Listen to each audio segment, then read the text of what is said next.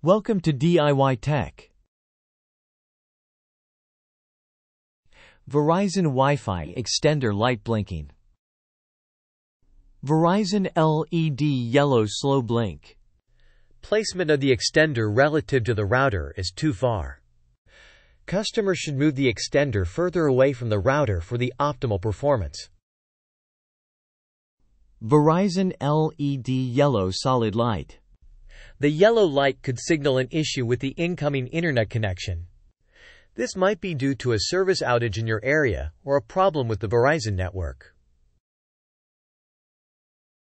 Verizon LED fast blink yellow. Poor placement of the extender can also hurt speeds. If your Wi-Fi extender is too close or far from the router, then it blinks fast. Choose a near placement.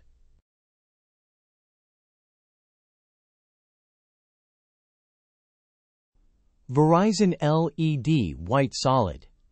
Placement of the extender relative to the router is optimal for good Wi-Fi throughput. No action needed. White LED remains solid lit while extender is in an optimal position. Verizon LED red light. Hardware or system failure detected, then blink solid.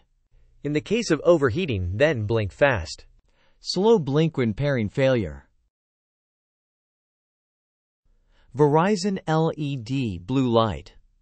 Starts pairing mode, then slow blink blue LED. After pairing successful blink solid blue LED.